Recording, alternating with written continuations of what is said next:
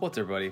Welcome back to Flare Reviews. Tonight, I have for you 2020's Amazon Prime hit One Night in Miami. This is a drama. It's going to run you an hour and 54 minutes. This movie is starring Leslie Odom Jr., Kingsley Ben-Adir, Eli Goree, and Aldis Hodge. Directed by Regina King. This movie is about basically the four black icons of back in the 60s Jim Brown, Muhammad Ali, Sam Cooke, and Malcolm X. It's a fictional story about a night that they spent together in, in Miami after Muhammad Ali wins his first heavyweight championship of the world. And basically they discuss their you know, their lives and everything going on and how they can help change like the civil rights movement and how, be like voices for it and, and stuff like that. Um, basically it's like a almost yeah, it's like I saw it compared to like I guess like the wording I saw like other reviews. It was like a one like a one room play is I guess what the people have been putting it.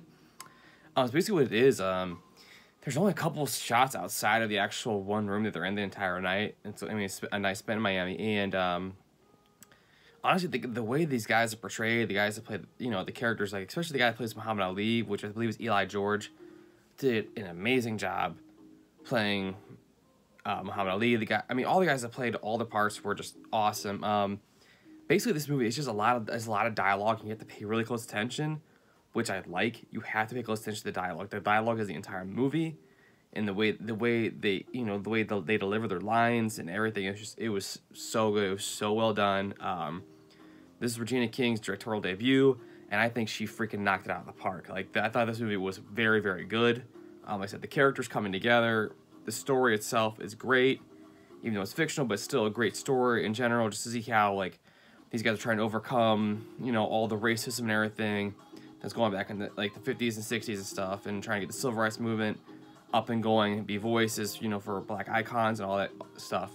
Um, I said I really enjoyed this movie. I thought it was very, very well done. The dialogue was amazing. It was delivered perfectly. Um, I gave it an 8.5 out of 10 on this. Like I said, that was very good you haven't seen it, please go out and check this out. It's on Amazon Prime. Like seriously, though, go check this out. It's such a good movie. And until next time, peace.